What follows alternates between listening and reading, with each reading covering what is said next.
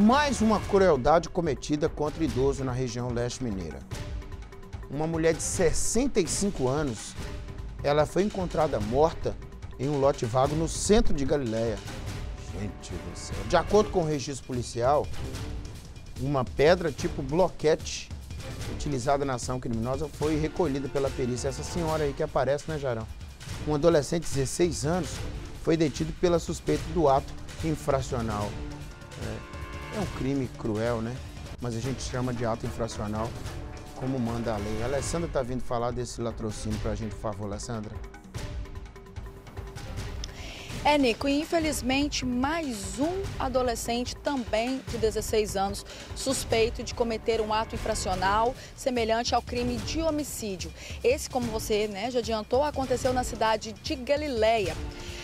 A vítima desse crime é a Lucilene Borrer, de 65 anos.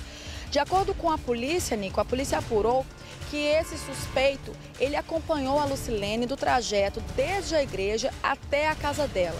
Ele estava de bicicleta vigiando essa mulher durante todo esse trajeto. Essa mulher, Nico, ela, o corpo dela foi encontrado num lote vago, próximo à creche Jesus Menino, e esse corpo estava atrás de uma retroescavadeira. Essa mulher, Nico, ela foi encontrada com esmagamento de crânio provocado por essa pedra, né, do tipo bloquete de rua, e de acordo com a perícia, essa mulher ainda tinha sinais de violência sexual, Nico. Para aumentar ainda mais aí a gravidade desse crime.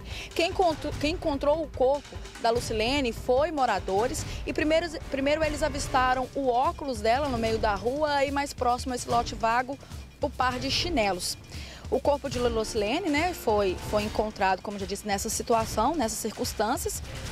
E conforme a polícia, diversas imagens de câmeras de segurança mostraram é, o trajeto feito, o momento do ataque e as imagens que foram feitas né, identificavam esse adolescente como suspeito, porque todas as características das vestimentas e também da bicicleta batiam com as imagens né, encontradas aí, as imagens feitas por esse circuito de, de segurança, Nico.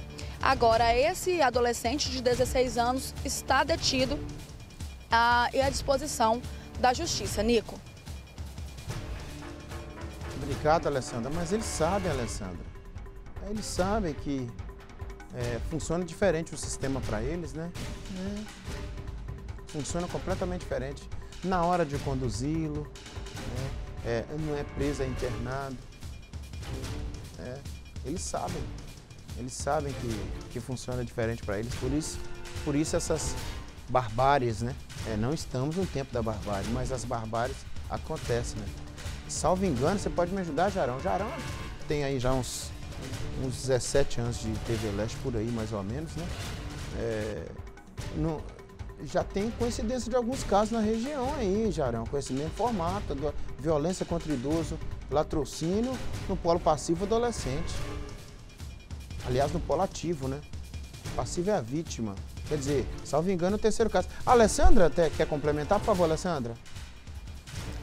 Sim, Nico, só uma, uma informação que é, recentemente teve também em Galileia um outro, uma outra morte também violenta de uma idosa também, Nico. Uma cidade pequena, de um porte pequeno, igual Galileia, e teve recentemente, sim, uma outra mulher também morta com muitos sinais de, de crueldade, viu, Nico? E há pouco é. tempo isso. Sim, sim.